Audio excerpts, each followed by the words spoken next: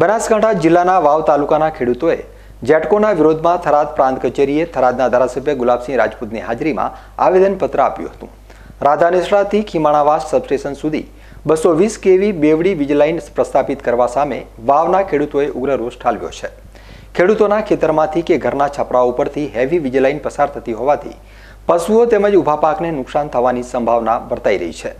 જોકે અહીં જેટકો કંપની દ્વારા પોલીસ પ્રોટેક્શન લઈને હેવી વીજપોલ ઊભા કરવામાં આવી રહ્યા છે અને આ સાથે વળતર પણ આપી રહ્યા છે. તેમ છતાં જેટકો કંપની દ્વારા સત્તાનો દુરુપયોગ કરવામાં આવતો હોય, તેમ ખેડૂત ખાતેદારોને સાંભળ્યા વગર વીજ લાઇન પોલ ઊભા કરવામાં આવી રહ્યા છે. તેથી વાવ થરાદના ખેડૂતોમાં ઉગ્ર રોષ જોવા મળી રહ્યો છે અને આ રોષની લાગણી સાથે થરાદ પ્રાંત કચેરી ખાતે થરાદ ધારાસભ્યની હાજરીમાં આવેદનપત્ર આપી વિરોધ નોંધાવ્યો હતો. હું કુકડા ગામનો ખેડૂત મારા ખેતરની અંદર જે ઝેટકોના વીજ ટાવર આવેલા છે, એ લોકો નથી. મને એવું કીધું કે આ જગ્યાએ તમારે ત્યાં આવે છે. છ મહિના પહેલો એમણે નોટિસ આપેલી. છતાં પણ અમે વાવેતર પણ નહોતું કરેલું. તો ત્યારે નહીં, અત્યારે હવે અમારો ઊભો પાક છે. નથી અમને કોઈ એવું માર્ગદર્શન આપ્યું કે આ જગ્યાએ તમારો થોંભલો આવે છે કે આ જગ્યાએથી અમારે પસાર થવાનું છે કે આ જગ્યાએથી અમારે વાહન લઈ જવાના છે. એવું કશું કર્યા વગર એના પછી પ્રોત સાહેબ સરીએ ને અમને બોલાવેલા અને અમને એમને એવો હુકમ કરેલો કે ભાઈ વળતર ભરી અને પછી કર, આ લોકોને થોભલા કરી આપવા. તો એ લોકો એક રૂપિયો વળતર આપ્યા વગર અત્યારે પોલીસ પ્રોટેક્શન સાથે અમે એમને કીધું એટલે પ્રોત સાહેબ સરીએ અમને આ આપ્યો છે પ્રોટેક્શન એવું એમણે જણાવી અને જબરજસ્તી અમારા ખેતરની અંદર અત્યારે પોલ ઊભા કરે છે. અને જે પોલ ઊભા કરે છે એ અમને ન્યાય ન્યાય નહીં મળે તો અમે છેલ્લે ગમે તે કરવા માટે પણ તૈયાર છીએ. કારણ કે અમારા ખેતરની અંદર મૂળ માલિકી અમારી છે અને છતાં પણ એ જો હુકમેથી અત્યારે પંદર પંદર વીસ વીસ બે દિવસથી પોલીસ આવીને બેઠી અમારા ઘરમાં રહેવું કેવી રીતે? જબરજસ્તી આવે છે. તો અમારે હવે શું કરવાનું એમ? તો સરકાર શ્રીને અમારે આ મીડિયાના માધ્યમથી અમારો અવાજ ત્યાં સુધી પહોંચે કે આવો અન્યાય ખેડૂતો માટે ના થાય. ખેડૂત અત્યારે બહુ દુઃખી છે.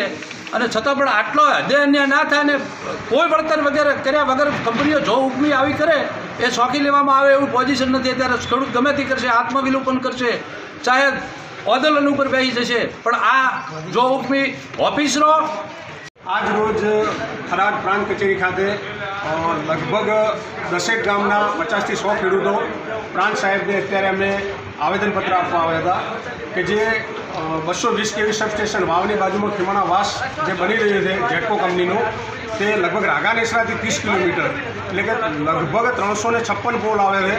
એ જેટકો કંપની એની મનસ્વી મનસ્વીપણું દાખવી અને એકદમ હિટલર શાહીથી ખોટી રીતે પોલીસ પ્રોટેક્શન સાથે ખેડૂતોને હેરાન કરી, એમના ખેડૂતોનો ઊભો પાક ઊભા મૂળને નુકસાન કરી અને આખી સિઝન દરમિયાન નાખતા આવ્યા છે. અને અગાઉ આ ખેડૂતોને જે નોટિસ આપેલી, નોટિસ આપી અને ખેતર વાવ્યા વગરનું પડી મૂક્યું, અથવા તો જે જગ્યાએ ખેતરમાં જવાનું છે ત્યાં રસ્તાની અંદર અત્યારે બીજો જે ઊભો પાક છે, ઉનાળો પાક, એને કચ્છર કચ્ચર ઘાણવાળી અને અત્યારે એનું મનસ્વરીપણું દાખવી અને જે વીજ પોલ ઊભા કરવા જઈ રહી છે, એનો વિરોધ કરવા માટે અમે અત્યારે થરાદ પ્રાંત કચેરી આવ્યા છીએ. કદાચ સરકારના ધારાધોરણ પ્રમાણે વળતર ચૂકવી અને પૂરતું સંપૂર્ણ ખેડૂતને વળતર મળે અને એના જે નિયમો આવતા હોય ગ્રામ માની લો કે ત્રણ મીટરથી અંદર કન્સ્ટ્રક્શન કરવાનું હોય તો ગ્રામ પંચાયત ધારા પ્રમાણે ગ્રામ પંચાયતના સરપંચશ્રી અને ગ્રામ પંચાયતનો ઓર્ડર લઈ એનઓસી લઈ અને કામ કરે અને વળતર ચૂકવ્યા બાદ જ આ કામ પ્રારંભે